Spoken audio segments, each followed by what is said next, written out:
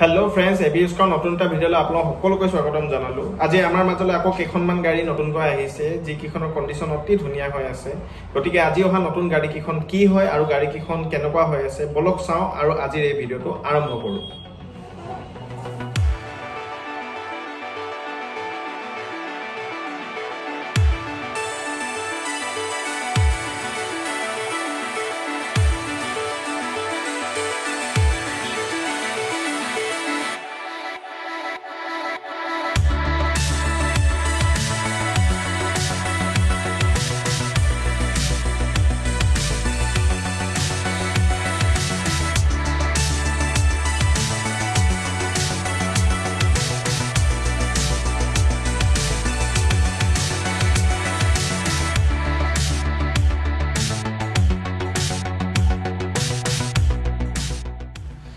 এইখন এখন গাড়ী যিখন আমাৰ মাজত নতুনকৈ ষ্টকত আহিছে। Hyundai grand i ten two thousand seventeen মডেলৰ হয় গাড়ীখন।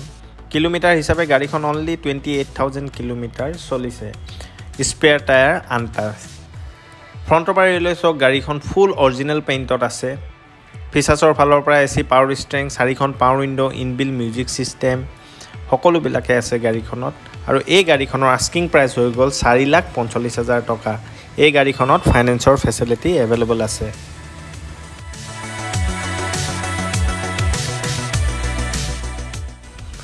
গ্ৰেণ্ড আইটেনৰ বাদেও আৰু এখন গাড়ী আমাৰ মাজলৈ আহিছে যিখন হ'ল হণ্ডা কোম্পানীৰ M H two thousand fifteen মডেলৰ হয় গাড়ীখন পেট্ৰল ভেৰিয়েণ্ট কিলোমিটাৰ হিচাপে গাড়ীখন only fifty two thousand kilometre চলিছে। এই গাড়ীখনো চক অতি ধুনীয়া হৈ আছে। ফিচাৰ্ছৰ ফালৰ পৰা এ চি পাৱাৰ ষ্ট্ৰেং চাৰিখন power window' inbuilt music system সকলোবিলাকে আছে গাড়ীখনত।